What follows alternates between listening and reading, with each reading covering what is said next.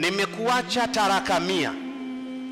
Arobaini zako ishirini za babako ishirini za mamako tano zinaenda ujombani kumi hizi za babu zako alafu tano zilizobakia watagawana shemeji zako taraka mia. Sheria inazingatia mwisho wa taraka ni tatu.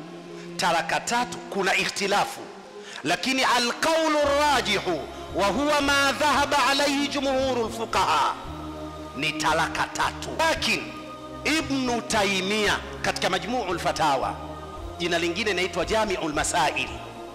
yeye ibnu taimia katika madhehebu yake anasema talaka ikivuka moja ni moja ana hoja nyingi muda hautoshi. Lakini jumhuru lulama lakini pia nenda katika mughni ya ibni qudama.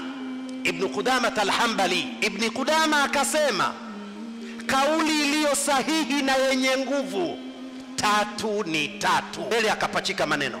Wa huwa ma dhahaba bihi jumhuru lulama, ndiyo mapito walioshika jumhuri ya ulama. Katika Almuwatta ya Imamu Malik kuna hadithi nyingi. Amepokea Imamu Malik kwamba kuna bwana mmoja alikwenda kwa sahaba wa Mtume. Abdullahi ibnu Masudi, alifatwa na mtu. Akamwambia, inni talaktu mraati thamani tatliqatin. Sahaba anaambiwa haya nimemwacha mke wangu taraka nane. Abdullahi bin Masudi akatabasam akamuuliza, famadha qila laka, ao mashehe wako huko kwenu wamekwambiaje? Qala, yule bwana akasema, banat minni, eti wamesema tayari kashakuwa sio wangu, ndio tatu hizo bainuna kubra. Abdullah bin Masudi akasema, faqad sadaq, ao mashehe wako walichosema ni kweli. Tatu ni ngapi? Tatu. Kisha akasema maneno yafuatayo, man talaka zaujatahu kama allamahu Allah fakad bayyana Allahu la, aliyemwacha mkewe katika utaratibu aliofundisha Mwenyezi Mungu,